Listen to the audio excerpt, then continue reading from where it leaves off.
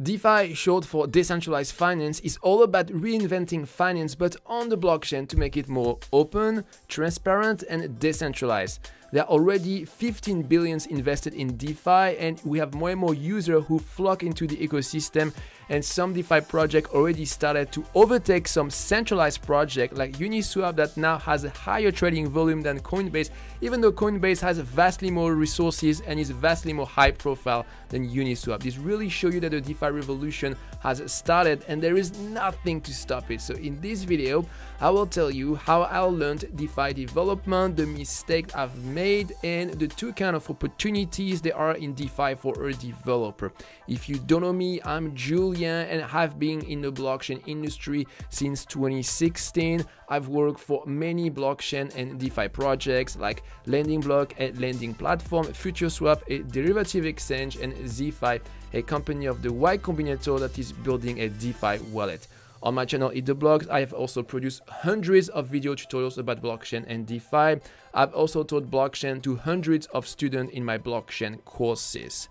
So, how did I get started in DeFi? Before 2020, there were a couple of DeFi projects like Uniswap and MakerDAO, but it's only at the beginning of 2020 that we started to see a big growth in the DeFi ecosystem.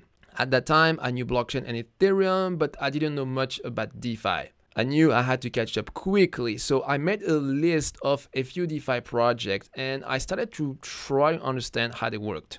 I've made a few mistakes. First, I didn't pick the right DeFi project. Second, I tried to get into the technical right away. And third, I tried to study too many DeFi projects at the same time. So I became a bit overwhelmed, confused, and I almost gave up. But then I tried again with a different approach. This time I just tried to use some DeFi protocols as an end user and I would only study a few DeFi projects, the most important ones, and I will do this one project at a time. To start with, I picked MakerDAO, the creator of the stablecoin DAI, and I started to manipulate DAI using my MetaMask wallet. Then I started to use Uniswap, a decentralized exchange, to trade some ERC20 tokens. The interface of Uniswap is very simple, it's good for beginners. And after, I continued with Compound, a DeFi project, to lend and borrow ERC20 tokens. So I lent some token there and I earned some interest. After this initial phase of experimentation, I started to feel a little bit more comfortable and it was time to do some coding. So I decided to build a couple of small DeFi projects on top of the other project I just studied. For example, for Uniswap and Compound, I built a dashboard to show current market prices for these projects.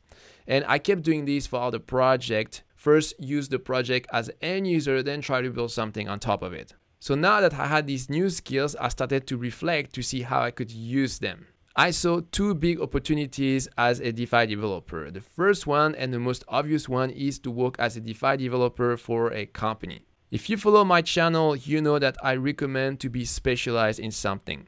This helps you to have a higher salary and to find a job more easily. When you are a DeFi developer, you are not only specialized in blockchain, but inside the blockchain industry, you are even more specialized in DeFi.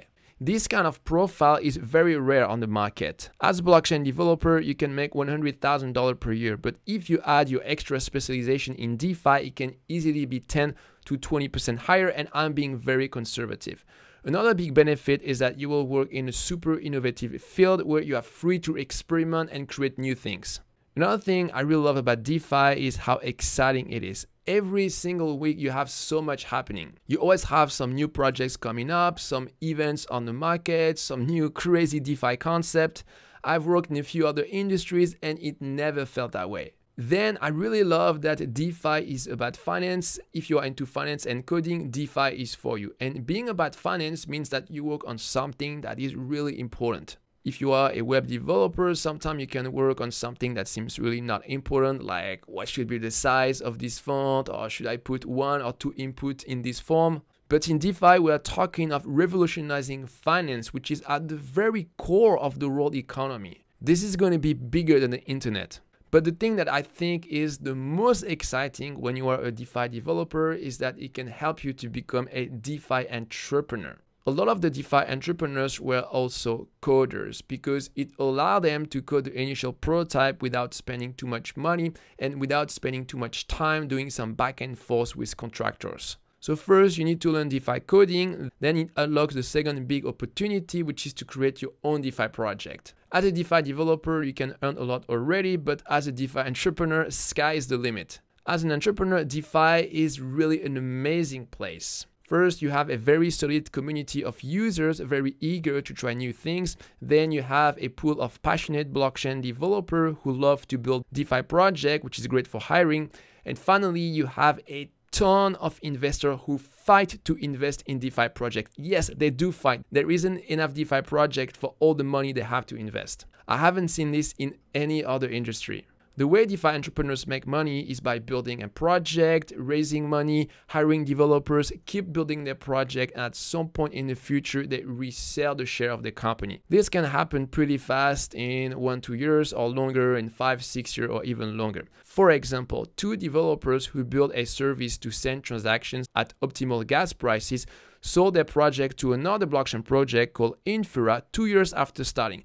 We don't know how much they made exactly, but it's probably at least a few hundred thousand dollars each. And for the really big DeFi project like Uniswap or Compound, these guys are probably on a longer time scale. But when these founders will finally sell their project, they will hit a major jackpot. We're talking of tens of millions, if not hundreds. And if you don't want to bother to have investors, it's also possible to be a indie hacker style of DeFi entrepreneur and focus on monetizing your DeFi project as soon as possible. An example of that would be Uniswap ROI, a tool to optimize your investments on Uniswap.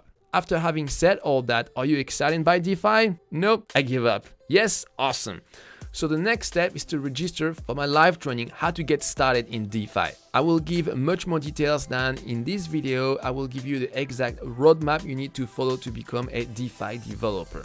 I will give this live training on Monday 21st of December at 11 pm UTC plus 8. It's free to register, you just have to follow the link below. I will see you there.